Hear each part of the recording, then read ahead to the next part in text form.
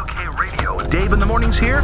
Good morning. It's hotter than a pistol out there. 119 degrees right now. Could get up to 129 today.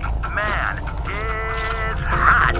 You know, this heat can really drive you crazy. So if you're behind the wheel somewhere, please keep a cool head, be careful, and drive safely.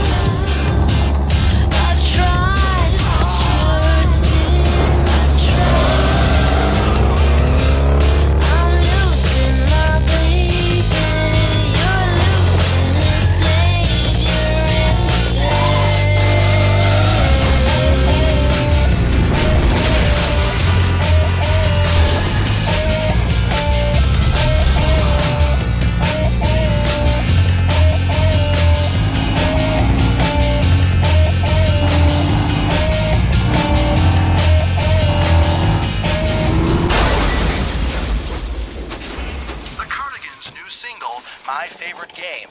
State Patrol is issuing a warning for a high-speed, out-of-control vehicle for local portions of Route 666.